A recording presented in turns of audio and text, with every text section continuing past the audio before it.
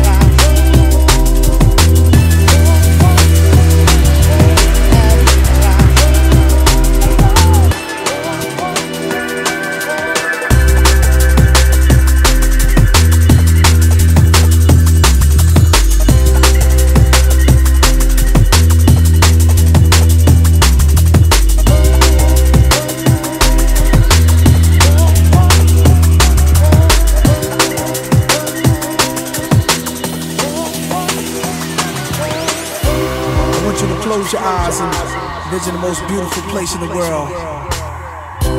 If you're in the hood, in the ghetto street corner, come on this journey. The best journey. Some mansion, acres of land, swimming pools, and all that. Check it out.